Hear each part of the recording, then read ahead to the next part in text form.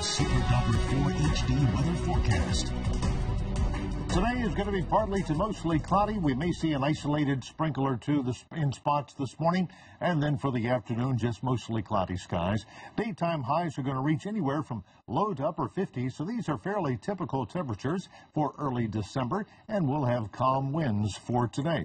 As we look ahead this week, a little better chance of those showers come Tuesday, Wednesday, Thursday, and Friday. Looks like each day there'll be a chance of showers with an increasing chance as we head toward the weekend.